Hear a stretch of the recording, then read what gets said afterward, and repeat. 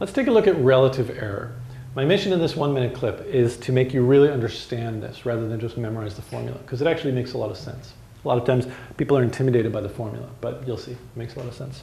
So let's say you're in science class and you've uh, done a lab and you're supposed to calculate the weight of something. Um, and you know, you in your lab, uh, you got that it was six grams. And maybe you know that it's supposed to have been five grams. In the lab, they'll very often ask you to calculate the, the, the relative error, or sometimes they call it experimental error. So here's the formula. Let's look at that first. So experimental means how much did you get in your experiment? That's all it means. So your experimental was 6. And then minus the real. What was the real? The real was 5. We know that's what it was supposed to be. And then divided by real. So 6 minus 5 is 1 over 5, which is 0.2 or 20%.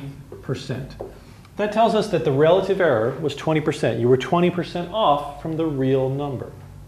So how does the formula work? The formula is just what you got minus what it's supposed to be. So that's what's your error. That's called the absolute error. It's just how much were you off, you know? Divided by real because it says how much were you off out of the whole thing. Like you were off one gram. If this thing weighed a million grams and you were off one gram, that'd be nothing. So the relative error would be very, very small. But one gram out of six grams, out of five grams, I mean, is a fair bit. That's why it's called relative error. It's relative to how much it really weighed. So we do the absolute error, how much were you off, but then divided by the real thing, how much were you off out of the total?